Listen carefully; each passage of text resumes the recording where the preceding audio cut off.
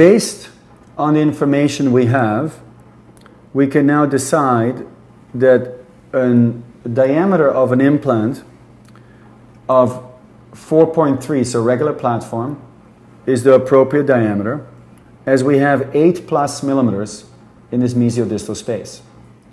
The length of the implant will be 13 millimeters based on that we have more than 15 millimeters of height. Based on the CT scan, it's 18. Topical anesthetic is used for the surgical site, and local anesthetic can either be infiltration, as used here, or through block anesthetic. Here, local infiltration anesthetic is used in the palate, on the crestal, and buccal.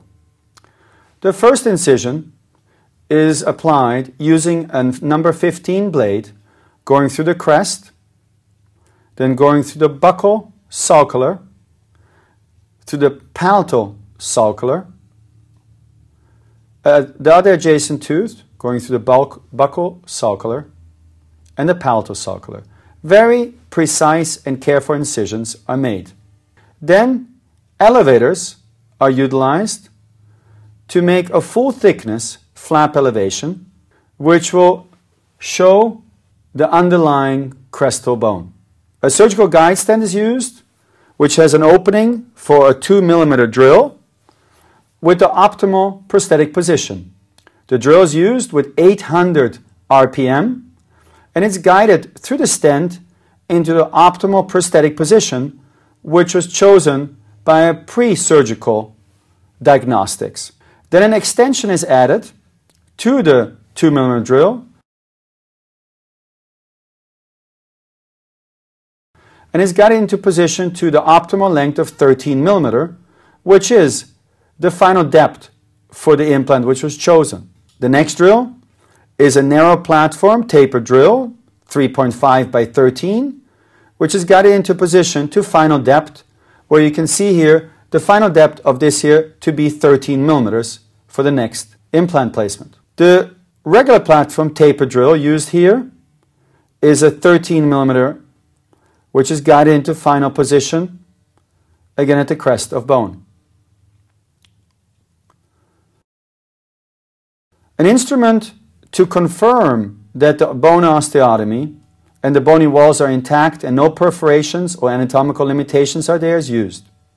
Then the implant is picked up with a long shaft implant driver. The implant is pulled out of its titanium sleeve and then positioned in the osteotomy. The first torque used is 20 newton by centimeter, which will now bring the implant into the position using the 20 newton centimeter.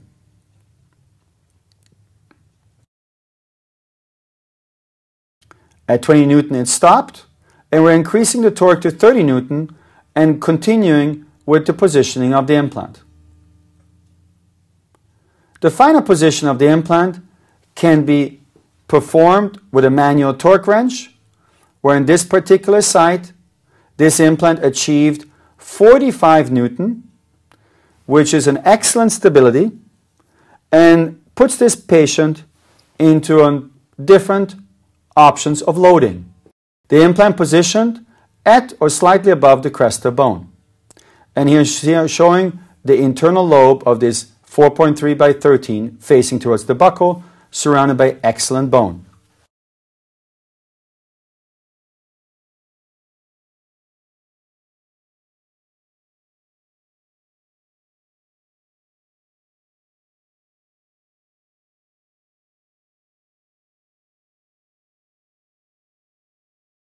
A radiograph is taken to evaluate the proper placement of the abutment as well as the proper emergence of the restoration. For more education programs, visit the gIDE Institute at www.gidedental.com.